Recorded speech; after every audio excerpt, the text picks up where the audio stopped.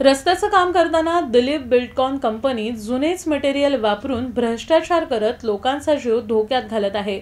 पाहुयात याबाबत सायकॉन on the spot report Solapur Kolhapur महामार्गाच्या चौपदरीकरणाचं काम मोठ्या जलद गतीनं सुरू आहे. परराज्यातील दिलीप बिल्डकॉन या कंपनीला या कामाचा ठेका देण्यात आला आहे. रस्त्याचं काम करताना दिलीप बिल्डकॉन कंपनी मोठ्या प्रमाणात भ्रष्टाचार करीत असल्याचं समोर आलं आहे.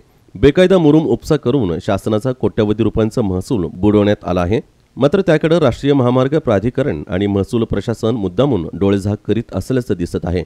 त्यात आता आणखीन भर पडली आहे. ती म्हणजे रस्त्याचं कामच निकृष्ट पद्धतीनं सुरू असल्याचं. होय दिलीप बिल्डोकॉन कंपनी रस्त्याच्या कामातही भ्रष्टाचार करताना दिसत आहे. रस्त्याच्या चौपदरीकरणाचं काम करताना जुना रस्ता खोदून त्यात नवीन मटेरियल वापरण्याचं गरजेचं आहे. मात्र दिलीप बिल्डोकॉन कंपनी जुन्या रस्त्याचं उकरलेलं मटेरियल पुन्हा नवीन रस्त्याकरताच वापरत असल्याचा धक्कादायक प्रकार समोर आला आहे. याचं ऑन दी स्पॉट रिपोर्टिंग केलं आहे बी आर न्यूज चॅनलनं चौपदरीकरण करताना नवीन मटेरियल वापरून चांगल्या दर्जाचा रस्ता तयार करण्याची गरज असताना दिलीप बिल्डकॉन कंपनी मात्र यामध्येही झोल करत असल्याचे दिसत आहे.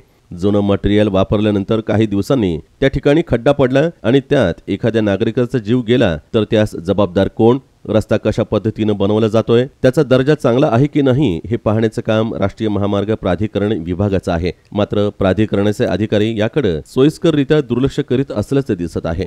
राष्ट्रीय महामार्ग प्राधिकरणचे संजय कदम हे या प्रकरणाकडे जाणीवपूर्वक दुर्लक्ष करत असल्याची चर्चा आहे. कदम हे का गप्प बसत आहेत? त्यांच्यावर कोणाचं प्रेशर आहे की यामध्ये नेमकी कोणती भानगड आहे? मुरुम उपचाकडे महसूल प्रशासन आणि निकृष्ट दर्जाच्या कामाकडे राष्ट्रीय महामार्ग प्राधिकरण का दुर्लक्ष करत आहे? यामध्ये कोणाचे हात ओले झाले आहेत? असा प्रश्नही विचारला जातोय.